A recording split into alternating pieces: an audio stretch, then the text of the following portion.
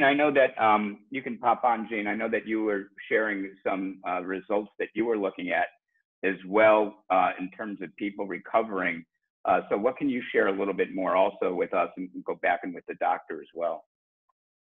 In regards to the recovery for um, disease process of, of the COVID 19, what I'm finding is that depending on how far out they are post recovery, um, they may only need just two or three uh, sessions and their symptoms have totally resolved. That's so those symptoms that I've experienced specifically at that uh, length of time post recovery has been shortness of breath and just overall t- chest tightness. And they may not have both of those particular symptoms. Uh, the two people I'm thinking particularly about were five and six weeks post a two week uh, duration of an illness. They weren't diagnosed with COVID at the time because of the testing um, was not available, but they tested positive for antibodies within the last probably week or two.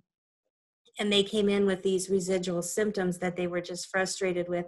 Both of them just needed three sessions.